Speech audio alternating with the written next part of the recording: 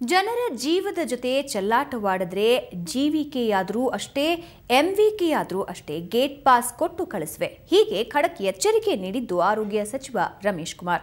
Suvarna news cover story ತಂಡ one not eight ಆಂಬ್ಯುಲೆನ್ಸ್ಗಳಲ್ಲಿನ ಲೋಪದೋಷಗಳ ಬಗ್ಗೆ ವಿಸ್ತೃತ ವರದಿ ಮಾಡಿತ್ತು. ಇದಕ್ಕೆ ರಮೇಶ್ ಕುಮಾರ್ ಪ್ರತಿಕ್ರಿಯಿಸಿದ್ದು, ನಾನು ಜಿವಿಕೆಯವರ ಮಾತು ಕೇಳಲ್ಲ, ಸಂಘ ಕಟ್ಕೊಂಡಿರುವ ಸಿಬ್ಬಂದಿ ಮಾತು ಕೇಳಲ್ಲ. ರೋಗಿಗಳ ಹಿತ ಕಾಯುವುದಷ್ಟೇ ನನ್ನ ಕೆಲಸ. ಅದಕ್ಕೆ ಏನು ಬೇಕೋ ಅದನ್ನು ಮಾಡ್ತೇನೆ ಅಂತ ಹೇಳಿದ್ರು.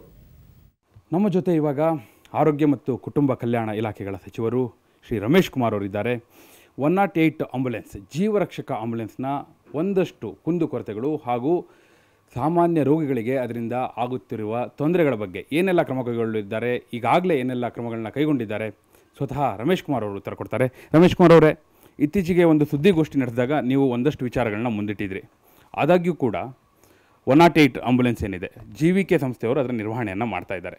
ನಾವು ಸುವರ್ಣ ನ್ಯೂಸ್ ವತಿಯಿಂದ ಒಂದು ರಿಯಾಲಿಟಿ ಚೆಕ್ನ ಮಾಡಿದಾಗ ಮಾಗಡಿಯಿಂದ ಒಬ್ಬರು ರೋಗಿ ವಿಕ್ಟೋರಿಯಾ ಆಸ್ಪತ್ರೆಗೆ ಬರಬೇಕಿದ್ರೆ ಮೂರು ಆಂಬ್ಯುಲೆನ್ಸ್ಗಳನ್ನ ಬದಲಾಯಿಸೋದು.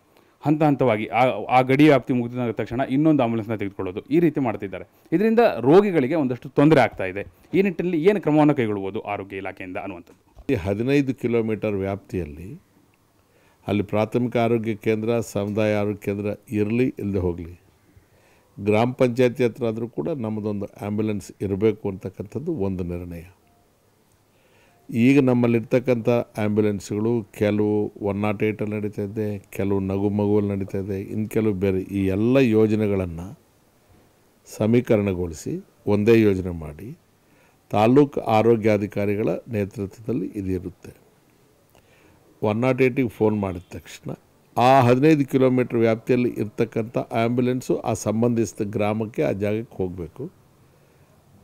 ತಕ್ಷಣ ಅವರನ್ನು ಹತ್ತಿರದ ಚಿಕಿತ್ಸಾ ಕೇಂದ್ರಕ್ಕೆ ತಂದು ಬಿಡಬೇಕು. ನಮಗೆ ಟೋಟಲ್ ಈಗ ಹದಿನೈದು ಕಿಲೋಮೀಟ್ರ್ ವ್ಯಾಪ್ತಿಯಲ್ಲಿ ಇಡೀ ರಾಜ್ಯದಲ್ಲಿ ನಾವು ನಮ್ಮ ಆ್ಯಂಬುಲೆನ್ಸ್ ವ್ಯವಸ್ಥೆ ಮಾಡೋದಕ್ಕೆ ಇನ್ನೂ ಮೂರುನೂರ ಐವತ್ತು ಆ್ಯಂಬುಲೆನ್ಸ್ ಶಾರ್ಟೇಜ್ ಇದೆ.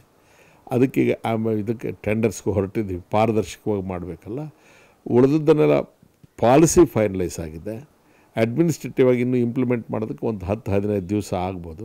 ನಾವು ಗಮನಿಸಿದಾಗ ಆಂಬುಲೆನ್ಸ್ ಒಳಗೆ ಆಕ್ಸಿಜನ್ ಕಿಟ್ಟೇ ಇರಲಿಲ್ಲ. ಈ ರೀತಿಯ ಲೋಪಗಳು ಕೂಡ ಕಾಣಿಸ್ತು. ಅವುಗಳನ್ನ ಸಮಗ್ರವಾಗಿ ಸಮರ್ಪಕವಾಗಿ ಇರುವ ಹಾಗೆ ಮಾಡಲಿಕ್ಕೆ ಏನು ನೀವು ಡೈರೆಕ್ಷನ್ ಕೊಡ್ತೀರಿ? ಅದಕ್ಕೆ ನಾನು ಮೊದಲು ಜಿ ವಿ ಕೆ ಅವರು ನಮಗೆ ವೆಹಿಕಲ್ ಕೊಡೋದು ಔಟ್ಸೋರ್ಸಿಂದ ಅಷ್ಟೇ ಅವ್ರ ಕೆಲಸ. ಆರೋಗ್ಯದ ದೃಷ್ಟಿಯಿಂದ ಏನು ಮಾಡಬೇಕು? ಇಲಾಖೆ ಜವಾಬ್ದಾರಿ. ಅದು ಜಿ ವಿ ಕೆ ಅವರಿಗೆ ನಾವು ಒಪ್ಪಿಸೋದಿಲ್ಲ ಆಮೇಲೆ ನೀವು ಹೇಳಿದಂಥ ಕೆಲವು ಲೋಪದೋಷಗಳಾಗಿದೆ ಬರೀ ಒಂದು ವ್ಯಾನ್ ಆ್ಯಂಬುಲೆನ್ಸ್ ಅಂದರೆ ಒಂದು ವ್ಯಾನ್ ಅಲ್ಲ ಅದರಲ್ಲಿ ಇರ್ತಕ್ಕಂಥ ಎಕ್ವಿಪ್ಮೆಂಟು ಮತ್ತು ಅವ್ರ ಜೊತೆಗೆ ಹೋಗ್ತಕ್ಕಂಥ ಡ್ರೈವರ್ಸ್, ಅವ್ರು ಎಲ್ಲರಿಗೂ ಕೂಡ ಪ್ರಾಥಮಿಕ ತಿಳುವಳಿಕೆ ಇರಬೇಕು, ಒಂದು ಜೀವನ ಕಾಪಾಡೋದಕ್ಕೆ ಏನೆಲ್ಲ ಬೇಕು ಆ ತರಬೇತಿ ಇರಬೇಕು. ಇದೆಲ್ಲ ಮಾಡ್ಕೊಡೋದಕ್ಕೆ ಸ್ವಲ್ಪ ಸಮಯ ಇಡುತ್ತೆ. ಈಗ ನೀವು ಹೇಳ್ತಾ ಇರೋ ಲೋಪಗಳು ಇರೋದು ನಿಜ. ಟೆಲಿಮೆಡಿಸಿನ್ ಕೊಡುವಂಥ ವ್ಯವಸ್ಥೆ ಮಾಡ್ತೇವೆ ಅನ್ನುವಂಥದ್ದು. ಬಹುಶಃ ಆ ವ್ಯವಸ್ಥೆ ಇದ್ದರೆ ಮಾಗಡಿಯಿಂದ ವಿಕ್ಟೋರಿಯಾ ಆಸ್ಪತ್ರೆವರೆಗೂ ಬರುವಂಥ ಅವಶ್ಯಕತೆ ಬೀಳೋ- ಬೀಳೋದಿಲ್ಲ. ಆದರೆ ಬಹುತೇಕ ಕಡೆ ಅದಿಲ್ಲ ಅನ್ನುವಂಥದ್ದು. ಆ ಕಾರಣಕ್ಕಾಗಿ ಹತ್ತಿರದ ಆಸ್ಪತ್ರೆ ಮಾಡ್ತಾ ಇರೋದು. ಈಗ ಹೊಸದಾಗಿ ಮಾಡ್ತಾ ಇದ್ವಿ ಬಯೋಕಾನ್ ಅವರು ಒಂದು ಹದಿನೈದು ಜಾಗದಲ್ಲಿ ನಾವು ನಮ್ಮ ಸಂಸ್ಥೆಯಿಂದ ಮಾಡ್ತೀವಿ ಉಚಿತವಾಗಿ ಅಂತ ಹೇಳಿದ್ದಾರೆ.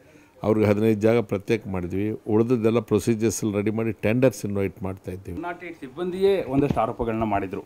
ಏನಂದರೆ ಜೀವಿಕೆ ಅವರು ಹೆಚ್ಚು ಹಣವನ್ನು ಗಳಿಸುವ ಉದ್ದೇಶದಿಂದಲೂ ಕೂಡ ಈ ರೀತಿ ಆಂಬ್ಯುಲೆನ್ಸ್ನ ಚೇಂಜ್ ಮಾಡ್ತಾ ಹೋಗ್ತಾರೆ. ಅವಾಗ ಅವರಿಗೆ ಆಟೋಮೆಟಿಕ್ಲಿ ಬೇರೆ ಬೇರೆ ಆಂಬುಲೆನ್ಸ್ನ ಹೋಗಿದೆ ಅನ್ನೋ ಆ ಕಾರಣಕ್ಕಾಗಿ ಹೆಚ್ಚು ಕ್ಲೈಮ್ ಮಾಡ್ಬೋದು ಹಣವನ್ನು ಅನ್ನುವ ಉದ್ದೇಶ ಕೂಡ ಇದರಿಂದ ಇದೆ. ಆ ಕಾರಣಕ್ಕೆ ಅದು ಕೂಡ ತಡೆ ಬೀಳಬೇಕು ಅನ್ನುವಂಥದ್ದು ಕೂಡ ಅವರ ಆರೋಪ ಔಟ್ಸೋರ್ಸ್ ಮಾಡಬೇಕು. ಸರ್ಕಾರದಲ್ಲಿ ಹಣ ಇರಲ್ಲ. ಜೀವಿಕೆ ವಿ ಅವ್ರು ಬರ್ತಾರೆ. ಇವ್ರ ಕೆಲಸಕ್ಕೆ ಸೇರಿಕೊಳ್ಳುವಾಗ ಅವ್ರ ಕಾಂಟ್ರಾಕ್ಟ್ ಬೇಸಿಸ್ ಮೇಲೆ ಸೇರೋದು.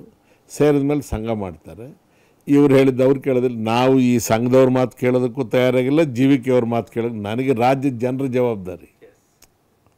ಇವ್ರು ಹೇಳೋದು ಕೆಲವು ಸತ್ಯ, ಅವ್ರು ಮಾಡ್ತಾ ಇರೋ ಕೆಲವು ತಪ್ಪುಗಳು ನಮ್ಮ ಗಮನಕ್ಕೆ ಬಂದ ಅದಕ್ಕೆ ನಾವು ನಮ್ಮದೇ ಆದಂಥ ದೃಢವಾದ ನಿರ್ಧಾರ ತಗೊಂಡಿದ್ವಿ. ಕೆಲಸಕ್ಕೆ ಸೇರಿದವರೆಲ್ಲ ಸಂಘ ಕಟ್ಕೊಂಡು ಇವ್ರಿಗೆ ಏನೇನು ಬೇಕು ಅಂತ ಕೇಳೋದೇ ದೊಡ್ಡ ಉದ್ಯೋಗ ಆಗಿಬಿಟ್ರೆ ಇವ್ರು ಸಂಘ ಮಾಡ್ಕೊಳ್ಳೋಕೆ ನಾವು ಸರ್ಕಾರ ಇಟ್ಕೊಂಡಿದ್ದೀವ. ನಮ್ಮ ಅನುಕೂಲಕ್ಕೆ ಜನರು ಈತ ಕೆಲಸ ಮಾಡಬೇಕು ಇಲ್ಲದ್ರೆ ಗೇಟ್ ಪಾಸ್ ಕೊಡ್ತಾ ಇರ್ತೀವಿ. ಜಿ ವಿ ಕೆ ಆದರೂ ಅಷ್ಟೇ ಎಂ ವಿ ಕೆ ಆದರೂ ಅಷ್ಟೇ. ನಮಗೇನು ಮೂಲ ಏನು ಇವ್ರು ಹಂಗಲ್ಲಿ ಇರ್ತೀವ ನಾವು. ನಮಗೆ ಹಂಗೆ ಒಂದೇ ನಮ್ಮ ಜನರು ಹಂಗೆ ಅಷ್ಟೇ. ಕುಮಾರ್ ಅವರೇ ಇದು ಆರೋಗ್ಯ ಸಚಿವ ರಮೇಶ್ ಕುಮಾರ್ ಅವರ ನೇರ ನುಡಿಗಳು.